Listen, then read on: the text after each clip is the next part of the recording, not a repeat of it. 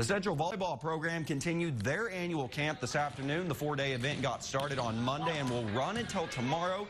There are two sessions. The early morning is for 5th through 8th graders, while the ninth graders work out in the afternoon. This year's camp is the first year under head coach Julie Williams, who is excited to be able to work with future Lady Cats and be around kids.